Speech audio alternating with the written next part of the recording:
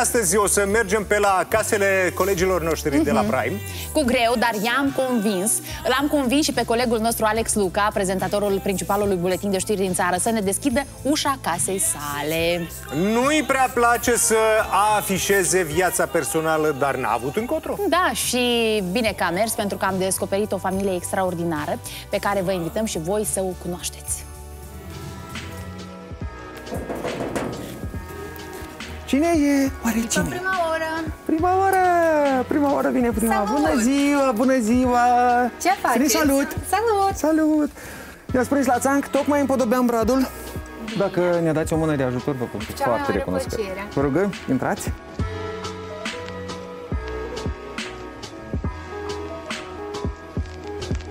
Acasă, Prezentatorul Alex Luca nu e deloc așa cum îl vedem la pupitrul primelor știri. Seriozitatea o lasă în cui la serviciu, alături de costumul sobru în care ne prezintă noutățile zilei. Și odată ce ajunge în sânul familiei, se transformă într-un tată și soț iubitor. Iar în această perioadă îi place să se simtă și copil.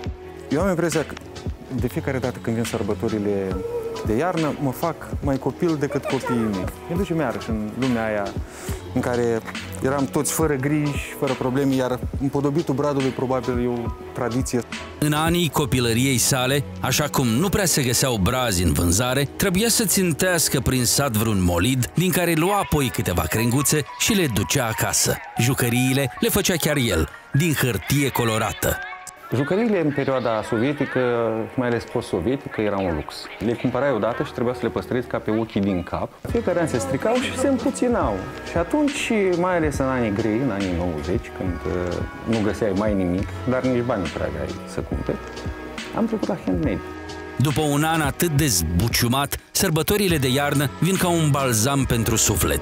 Alex, împreună cu soția Olga și cei doi copii ai lor, Felix și Flavius, vor lua tot ce e mai bun din ele, indiferent de data din calendar. De Crăciun vom petrece acasă, ca de obicei, în familie.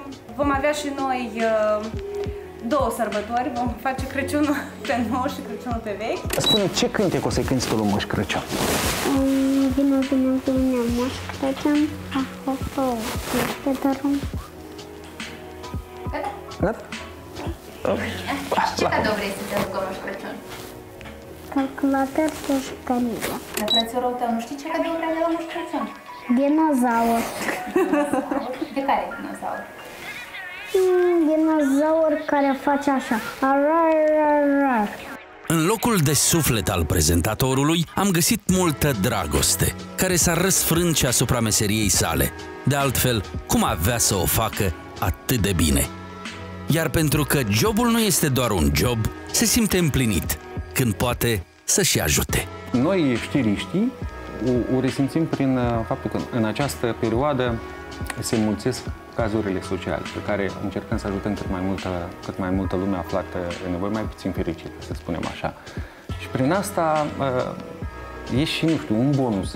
Eu sunt atât de mândru de colegii mei, inclusiv uh, de cei de la prima oră, inclusiv de, de, de colegii mei de la știri, reporteri, producători, editori și toată lumea. Pentru că nu rămânem niciodată reci